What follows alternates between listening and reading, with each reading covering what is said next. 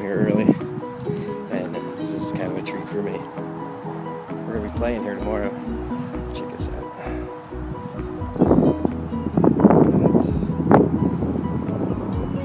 It's ridiculous.